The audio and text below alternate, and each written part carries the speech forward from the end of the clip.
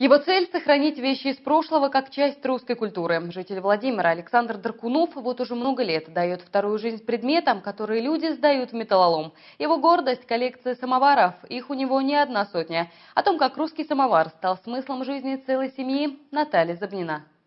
Он знает, чего хочет от жизни. Александр Даркунов по жизни успешный бизнесмен по призванию хранитель истории. Его офис – настоящая антикварная лавка. Тут и огромные скульптурные композиции из металла, а в кабинете коллекция русских самоваров. Мало ее честь. Для Саши это очень дорогая тема.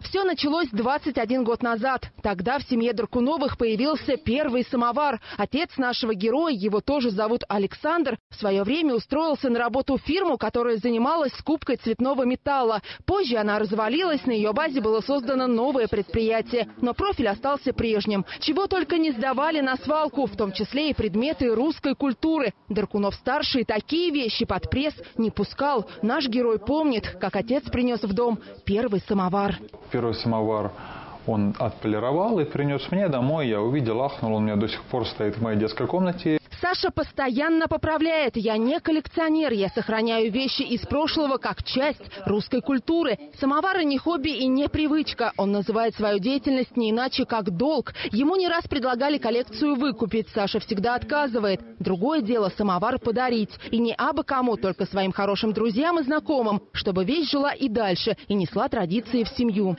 Сколько сил и труда вкладывает Саша Дуркунов в восстановление самоваров, известно только ему. Ведь чтобы отполировать Арендовать хотя бы один надо от 10 до 20 тысяч рублей. Самое интересное из моих самоваров, наверное, что а, чем меньше самовар, тем дороже он. Всего в коллекции Даркуновых не одна сотня русских чайных машин. Работать с самоварами Саша доверяет только суздальским реставраторам. Их медно-никелевое покрытие всегда приходится снимать. Восстановить его невероятно дорогое удовольствие, говорит Саша. Полируют самовары тканью. Чтобы привести в порядок экспонат, в среднем требуется неделя. А за этим столом сокровища. Здесь предметы кухни, чайники, даже ступки. Есть версия, что большая из какого-нибудь театра. Также здесь экраны от бочек, умывальники. В руках у Саши антикварная ручка с клеймом. И все это лежит на настоящем трактирном подносе. И у каждой вещи своя, зачастую печальная история. Есть вообще безумные примеры. А, например, вот есть примеры с самоварами. Да? То есть вот он красивый, стоит там с медалями, с клеймами. А он не влазит в сумку, да, в портфель. Так человек что делает? Он берет молоток, мнет его э, до тех пор, пока он не влезет в сумку и несет. То есть э, вместо денег, конечно, этому человеку хочется дать что-то другое, да. Вот. Э, слезы наворачиваются. Слезы наворачиваются еще от одной истории. Вот эту вещь на свалку сдали всего за тысячу рублей.